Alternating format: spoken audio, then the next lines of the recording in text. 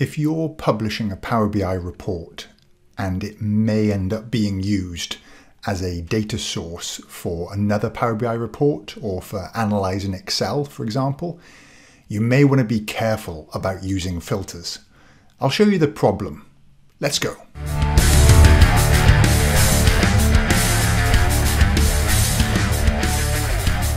I've got a report that I built, very simple, and by department, the grand total of FTE is 60.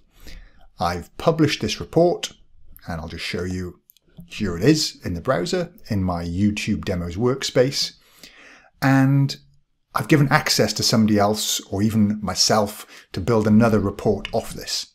And you can do that in Excel or Power BI. Let me show you the Power BI way. You can go get data from a Power BI dataset and connect up to it.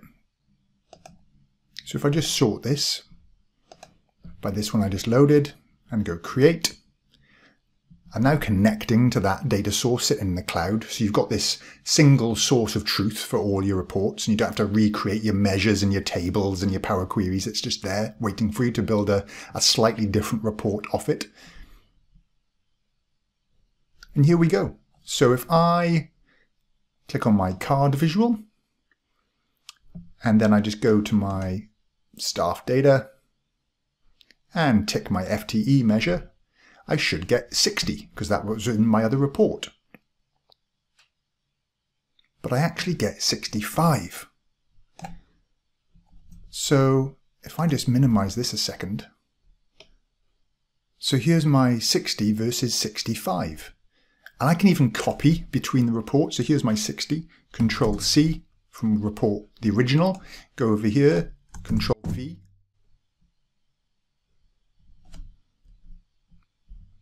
Sixty-five. Well, let's copy this visual. Control C, Control V. Oh, this item X. What is this? Okay, so sneakily, in here in the filter pane, I or someone else has filtered out Department X at the report level or at the page level. And because there's no way of me telling that in the connected report, I could easily just miss something. So if you're ever trying to remove things in the filter, just be really wary about that.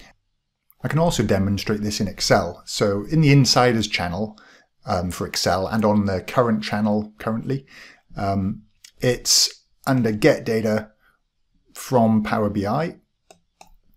And you need a Power BI Pro license currently to connect to this. Things may change, so always check on the documentation about what's available where.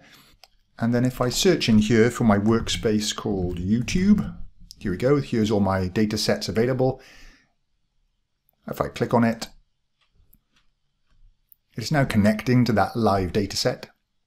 And this is great because you can have a refreshable data set in Power BI and all your reports are being built off this centralized view. And if I click FTE, I get 65. And if I do it by department, you'll see that the X comes through. So what do you do? Um, well, I haven't got a great answer for this other than try and avoid the filters in the first place.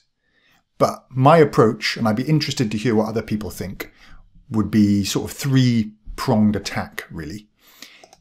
In your original report, if you don't need Department X, okay, if, if it's not required for your report, then get rid of it at the Power Query stage, filter it out using transform data so it's not even there, and then everything will be consistent. Then the option, second option really, is rather than hard coding your filters into this filter panel, put the filters into your DAX measure. So if I come into my staff and I actually show you the um, view the hidden ones, I've hidden a couple of ones here.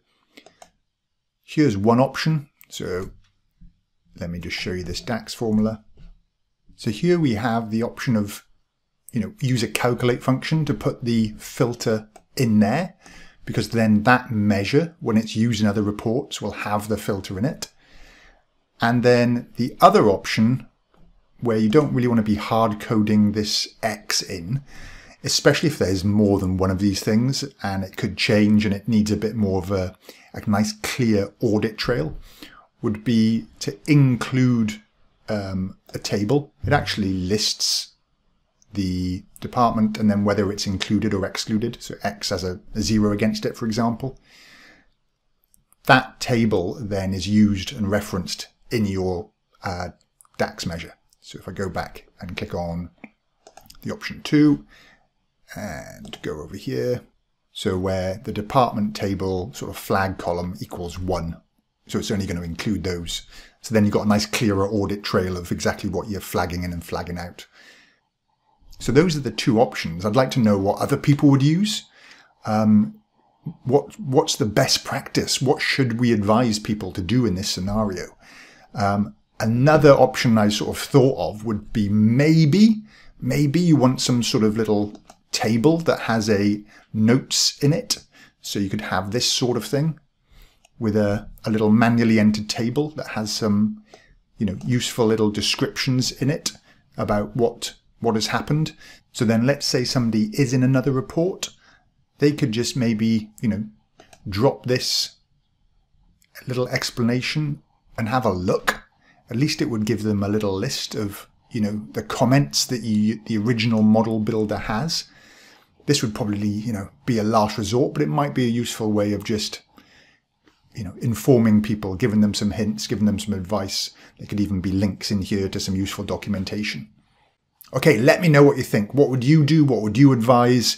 Um, if you want to stay up to date with my videos, subscribe and let me know what you think. Leave me a comment and I will catch you later.